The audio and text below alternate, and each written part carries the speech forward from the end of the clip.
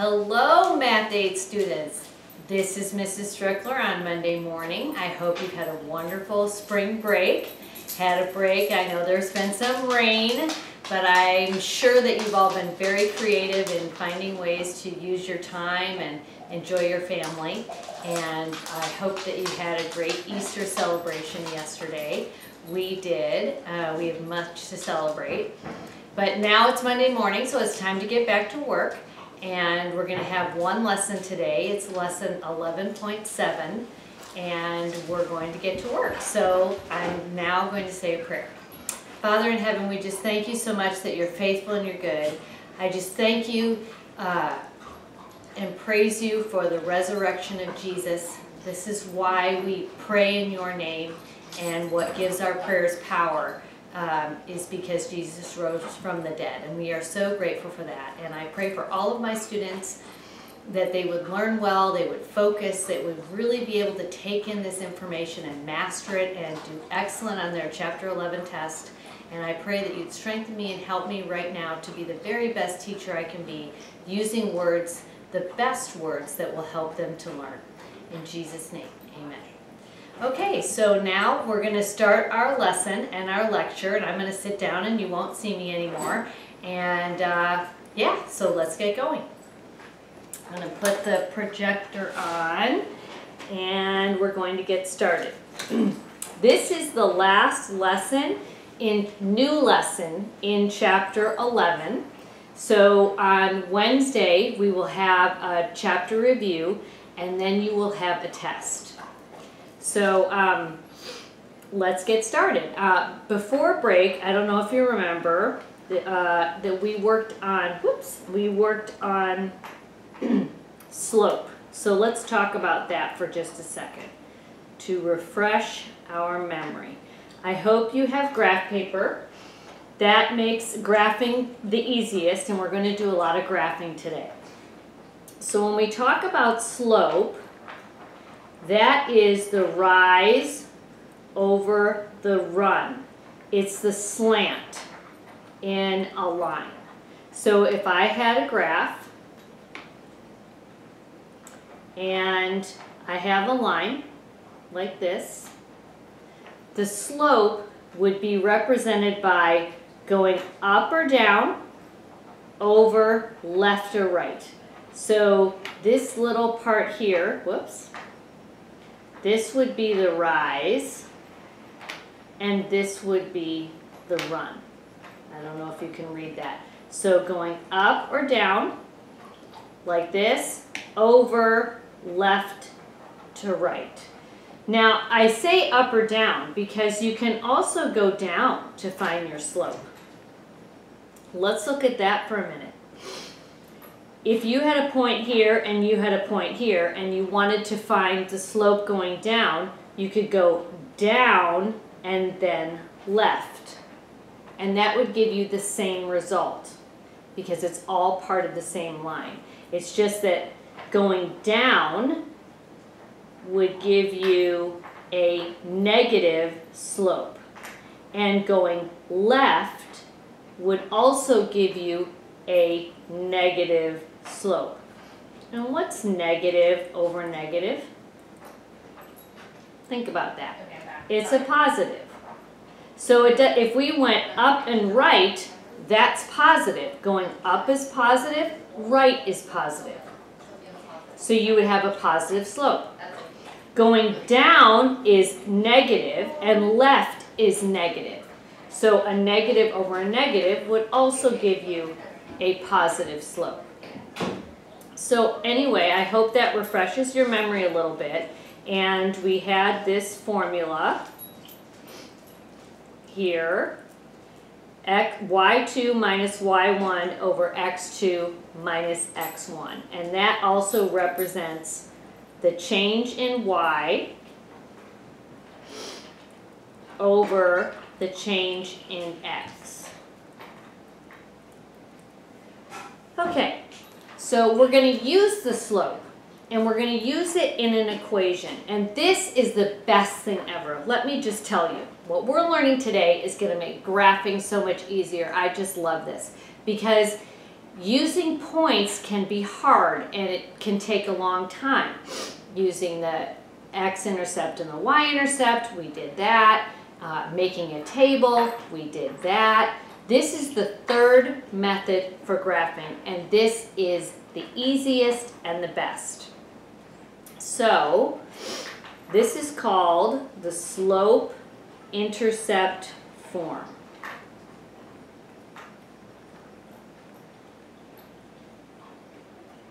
Okay? And this equation is a formula, looks like this. Y equals mx plus b. Now some of you, if you were in my class last year, or if you had a math curriculum last year that, that did this, you may have been exposed to this before. But for some of you, this is new. All right, this is going to make your life so much better. The m represents our slope. And this is, by the way, an equation of a line.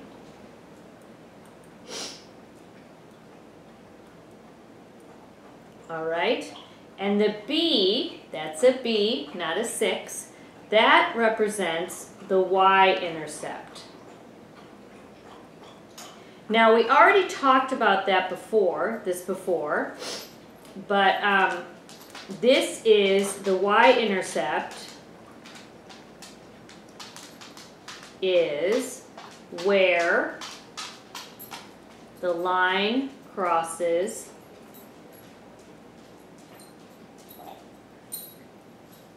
the y-axis. Okay? All right, so knowing that, we're going to practice first identifying the slope and the y-intercept. So we're going to work with this formula. So here's number one. Find the slope and y-intercept of the equation.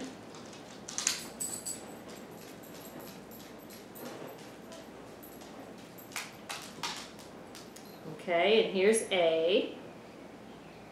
y equals 4x plus 2. So all we have to do is identify the slope and the y-intercept. This is the very beginning. This should be nice and easy because you have to be able to do that in order to use this equation effectively for graphing. So the slope, very simply, is 4 and the y-intercept is 2. That's the answer. That's it. All right, so and a lot of the time, that's just how easy it is. A lot of the time, you're going to have a positive slope right there. Now, what happens if you have something like this? y equals x minus 3. All right, well, to find my slope, it is the number in front of the x. So what number is right there? There is nothing there. That's because there's only one x, so it's an invisible 1. So my slope is 1. And the y-intercept is the number by itself here. Now be careful, you have to include the negative there. So it would be negative 3.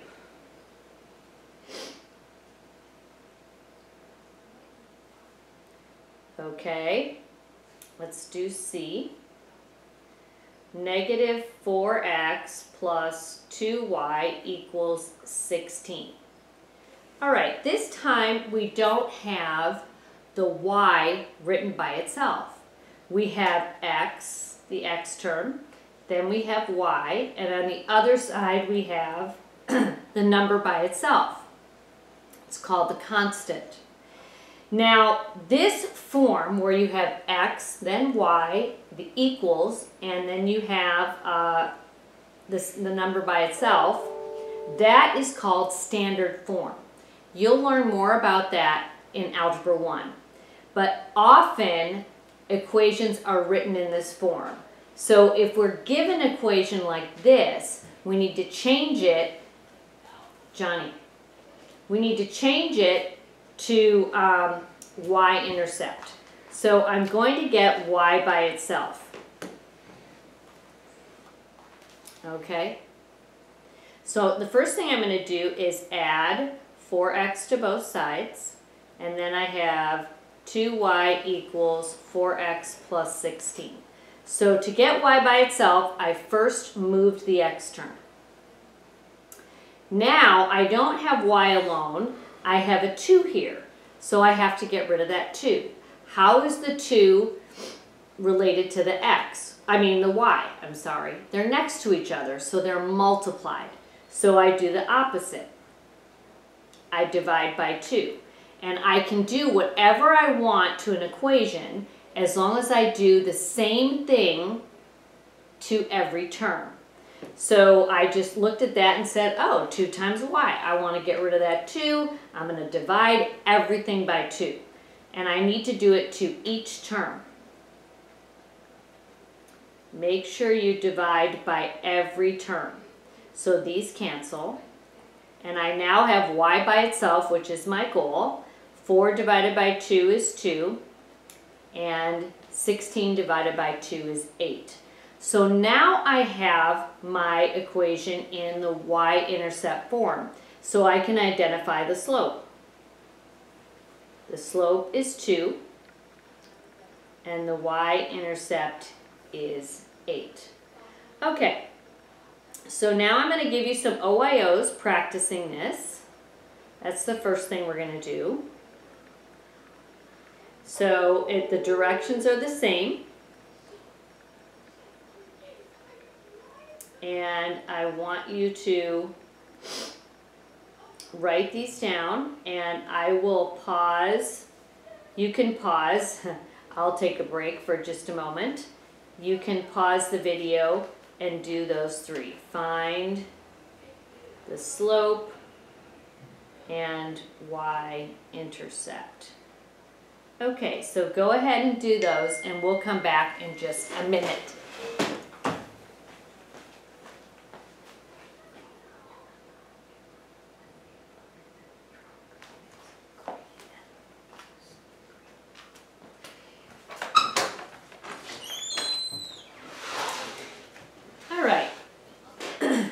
So uh, I'm going to do these with you. I hope you had some success. It's not too hard.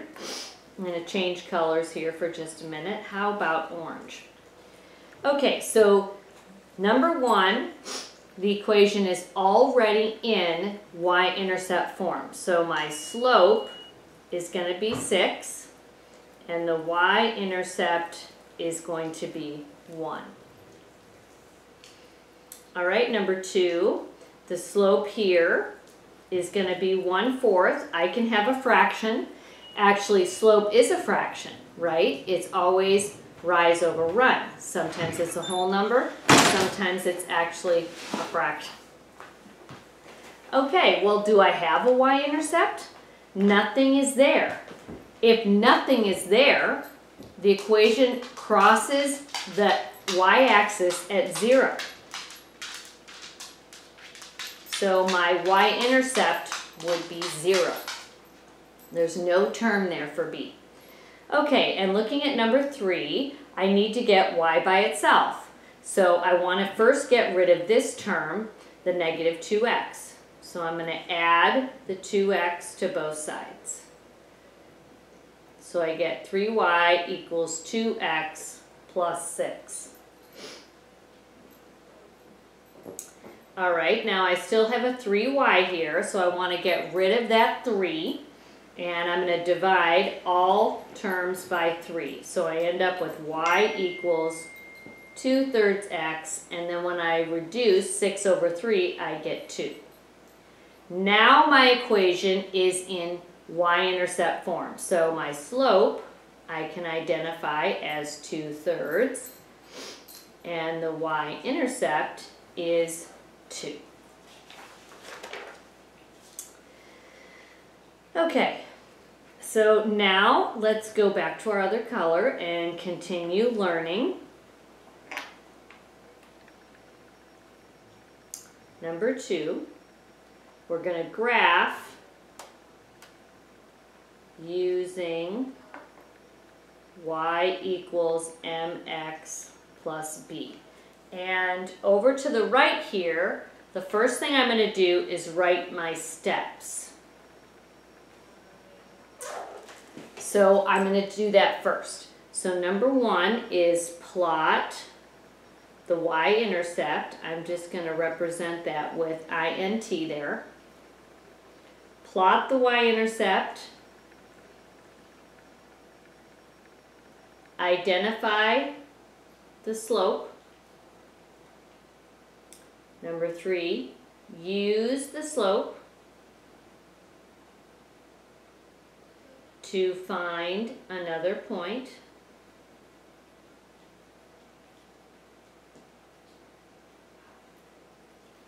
And the fourth thing is to draw the line. The fourth step. Now remember, I say this every time, but I mean it. If I'm going too fast, pause the video, catch up, rewind, use it however it will benefit you. All right, so those are my steps. So here's my problem. It's y equals 1 half x plus 3. So I'm going to draw my graph. Love having graph paper. Keeps my lines nice and straight. Okay, so the first thing I'm going to do is I plot the y-intercept. Now I know by looking at my equation that y-intercept is 3. Now what does that mean? That means that my line is going to cross the y-intercept, which is right here, at this point, 3. Well, what point is that?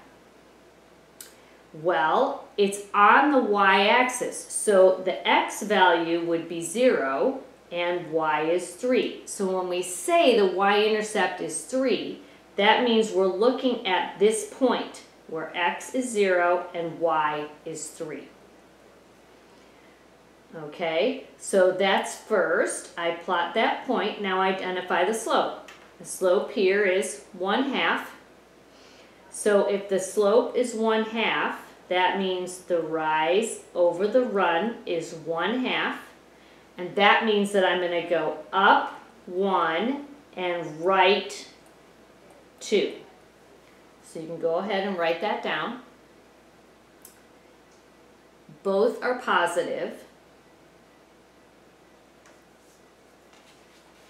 So I go up one and right two. So what I do is I put my pen right here on the y-intercept and I use my slope from there. I hope you're really listening right now. So from this point, I'm going to go up one and then I go right two. Up one, right two and I plot my second point. See, the slope tells me what the slant is, exactly. So from one point for the another, to another, the amount of the slant is the slope. So I can go from any point on the line to another point, and my slope will be 1 over 2. And then the last thing I do is draw my line.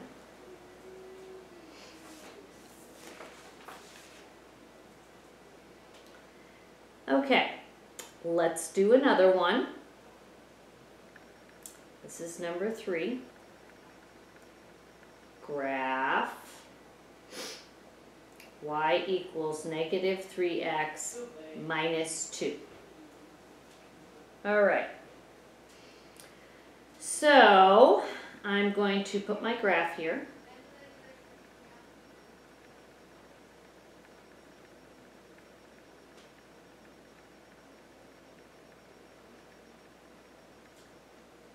Okay, so I'm going to identify my slope. That is negative 3.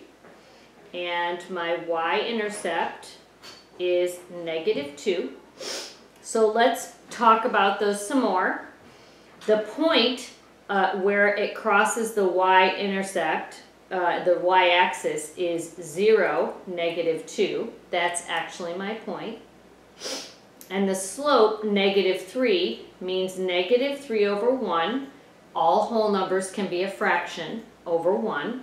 And that tells me to go down 3 and right 1.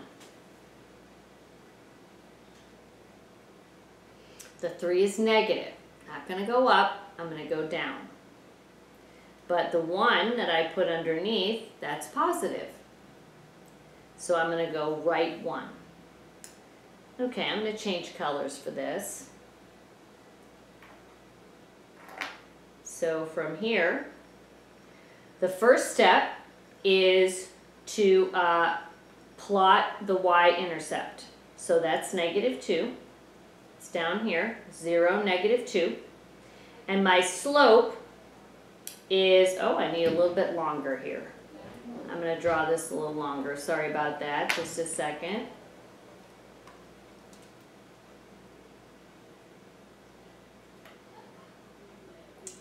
Okay. Okay, so from here, my slope is down 3, right 1. So from this point, I'm going to go down 3. 1, 2, 3. Down 3 and right 1. That's my slope. And I plot my second point right there. So those are my two points, and then I draw my line, just like that. And that's how we graph using y-intercept. Okay, I'm going to give you three OIOs, and then we'll come back and go over those in just a few minutes. So we're going to graph And here is number one. y equals 2x plus 5. Number two is y equals 7x. And number three, negative x plus y equals 6. Okay, I'm going to give you a couple hints. What is my y-intercept there when there's no number? It's at 0, 0 okay? That's like nothing is there, that's like having plus zero. And look at this one. Is y by itself? No. So I have to move that negative x term. Okay, why don't you go ahead and pause the video and we'll come back in just a few minutes and go over these.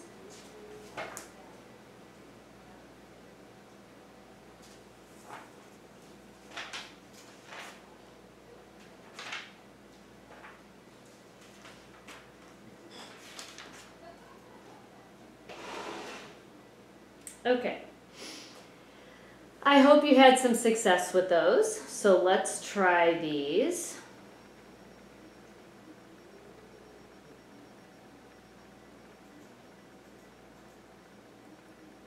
One, two, three, four, five, six, to go up seven for this one. Okay, so what's my slope? My slope which I told you earlier represents m, they just use an m, is 2. And my y-intercept is at 5, which is 0, 5. And a slope of 2 means up, 2, right, 1. Okay, so I'm going to change colors. Got that all set up. Check your work on that. Check your y-intercept and your slope. okay, so the first thing I do is plot the y-intercept.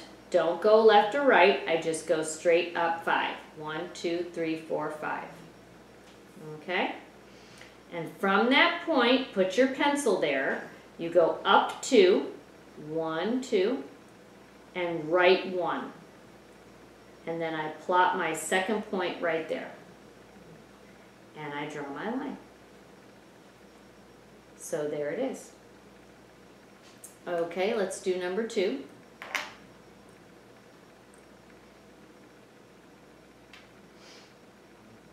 Alrighty, I'm going to move number three over a little. So we have lots of room. This is a tall and skinny one also.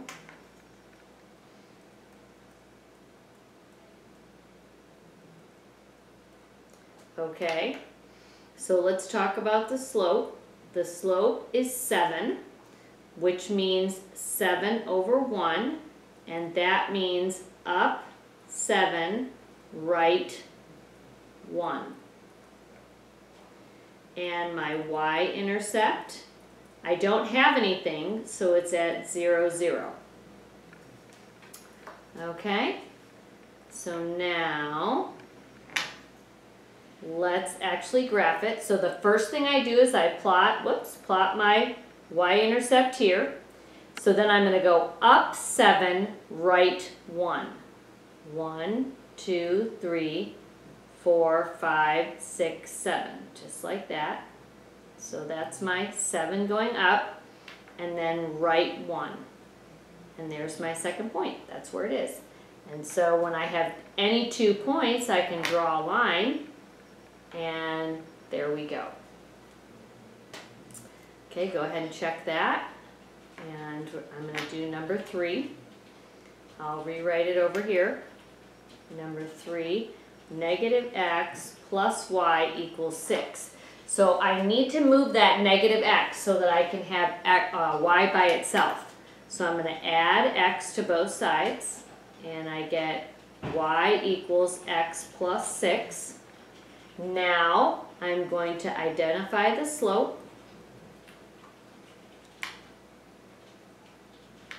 My slope is 1, which means 1 over 1.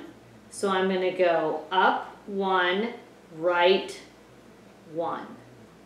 And my y-intercept is at 0, 6. Another tall graph. Okay. I hope your lines are straighter than mine. One, two, three, four, five, six, oh, seven. Okay. Actually, I'm going to put some dashes on the rest of the graph. Okay.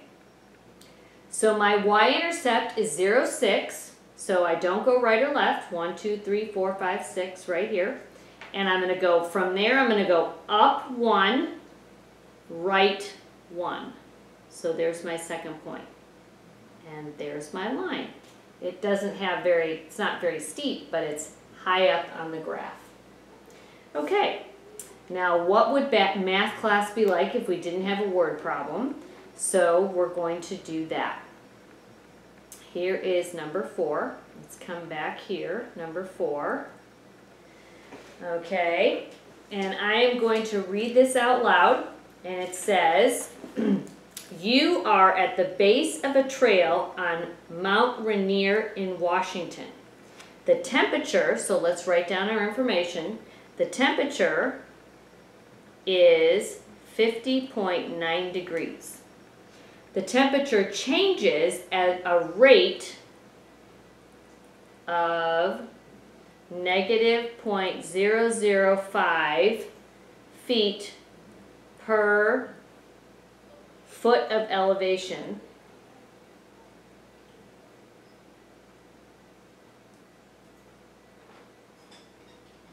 as you hike up.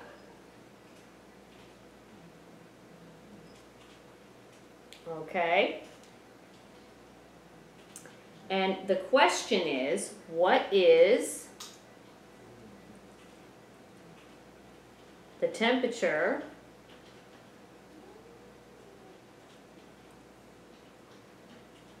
one thousand feet above the base. Okay, if you're behind on writing this down, go ahead and um, write that down. You can pause the video. Okay. I wonder if any of you have been hiking at Mount Rainier. We'll might try to find a picture of that in just a minute. Okay, what does this mean? It means that when you start your hike at the base, this is at the base, the temperature is about 51 degrees. So everybody's got a nice warm jacket on, maybe a couple layers, so that as you build up some uh, uh, energy, that you're getting warm, you can take off one coat, we'll see. Okay, so that rate means that for every foot you go up, uh, go up, the temperature drops just a little bit, a very little bit. So that's like half of a half of a thousandth of a degree, but it's only for a foot per foot. Okay? So what is the temperature above the base? Well, we need to uh, write an equation. So we're going to do that. We're going to write talk about the temperature as you're hiking. So the temperature is going to be um, your initial temperature. So if you're standing at the base, that's where we started, right? And then as you go up, you have to add the rate because you're changing where you're going. So you're going to add the rate of the temperature change multiplied by the increase in elevation.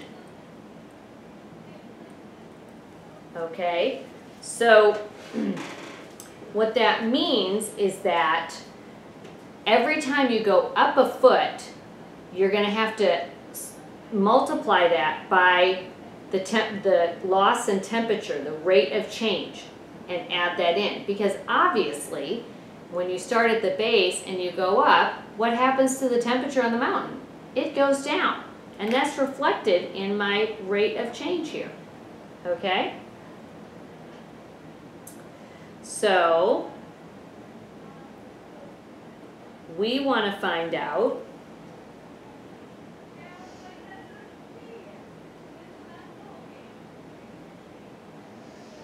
um, what is the temperature a thousand feet above the base. So I've got, I'm trying to find that. So my initial temperature um, is 50 degrees, 0.9, plus my rate, negative 0.005, times x, whatever my increase in elevation is. All right, so this is in feet.